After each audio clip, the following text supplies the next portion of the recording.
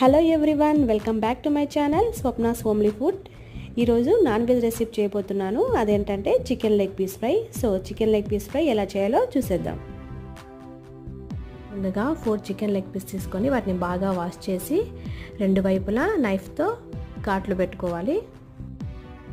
Chicken పీసెస్కి ఘాట్లు పెట్టుకున్న తర్వాత నెక్స్ట్ మ్యారినేట్ చేసుకోవడానికి అందులోకి మసాలా పొడులన్నీ యాడ్ చేయాలి. సో ముందుగా సాల్ట్ ఒక టేబుల్ స్పూన్ యాడ్ చేసుకోవాలి. పసుపు హాఫ్ టేబుల్ స్పూన్ యాడ్ చేసుకోవాలి.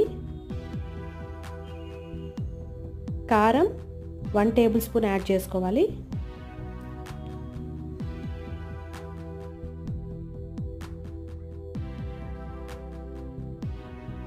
సాల్ట్ పసుపు కారం యాడ్ చేసుకున్న తర్వాత ఒక టేబుల్ స్పూన్ ధనియా పౌడర్ కూడా యాడ్ చేసుకోవాలి. Next half tablespoon garam masala next half tablespoon జీరా powder half tablespoon chicken masala అల్లం వెల్లుల్లి paste one table spoon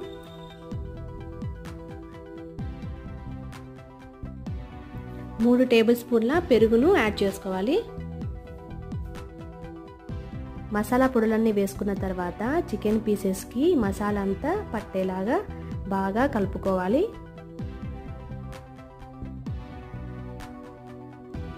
masala పొడులన్నీ వేసుకున్న తర్వాత నెక్స్ట్ అందులోకి ఒక ఎగ్గును కూడా యాడ్ చేసి బాగా కలుపుకోవాలి.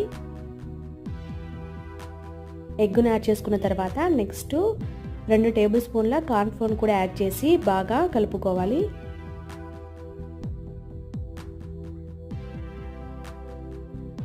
ఇలా బాగా కలుపుకున్న తర్వాత నెక్స్ట్ ఒకటి లేదా మూడు గంటల పాటు మ్యారినేట్ చేసుకోవాలి. ఎంత ఎక్కువసేపు మ్యారినేట్ చేసుకుంటే అంత టేస్టీగా ఉంటాయి పీసెస్. నెక్స్ట్ స్టవ్ ఆన్ చేసుకొని ఒక కడాయి పెట్టుకోవాలి. కడాయి బాగా హీట్ అయ్యాక అందులోకి డీప్ ఫ్రైకి సరిపడా ఆయిల్ వేసుకోవాలి. ఆయిల్ బాగా హీట్ అయ్యాక ఇందాక మ్యారినేట్ చేసి పెట్టుకున్న చికెన్ లెగ్ పీసెస్ని ఒక్కొక్కటి ఇందులోకి యాడ్ చేసుకోవాలి. మీడియం ఫ్లేమ్లో పెట్టుకొని ఒక్కొక్కటి ఇలా తిప్పుకుంటూ బాగా డీప్ ఫ్రై చేసుకోవాలి.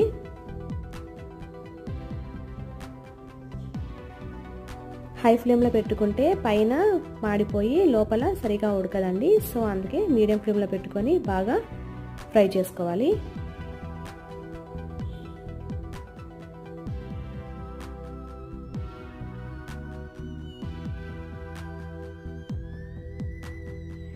బాగా డీప్ ఫ్రై చేసుకున్న తర్వాత కలర్ చేంజ్ అవుతుంది. ఇలా కలర్ చేంజ్ అయిన తర్వాత బాగా ఫ్రై అయినట్లు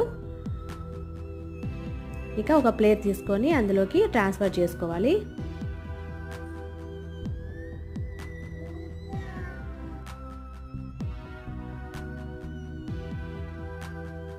ఇదే విధంగా మిగిలిన చికెన్ లెగ్ పీసెస్ని కూడా ఒక్కొక్కటి వేసుకొని బాగా డీప్ ఫ్రై చేసుకోవాలి.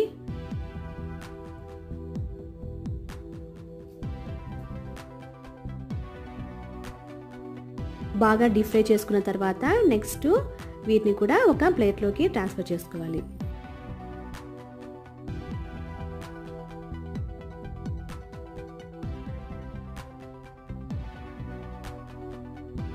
అంతే అండి ఎంతో సాఫ్ట్గా క్రిస్పీగా ఉండే chicken leg piece fry ready అయిపోయింది. వీటిని మనము సైడ్ డిష్గా అయినా తీసుకోవచ్చు డైరెక్ట్గా అయినా తీసుకోవచ్చు.